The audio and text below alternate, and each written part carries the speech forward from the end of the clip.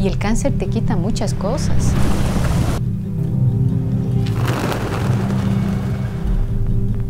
Te puede quitar la vida, me quitó la pierna, me quitó también mucho dinero. Pero yo llegó un momento en donde dije, no quiero que el cáncer me quite más.